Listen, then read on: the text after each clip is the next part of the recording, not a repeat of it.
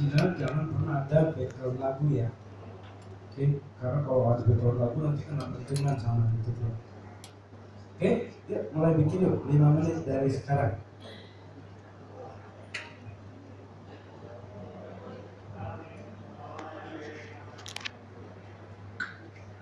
Oke, semua praktek yang bikin ya. Karena kalian harus praktek ya. Supaya nanti di rumah bisa diulang-ulang.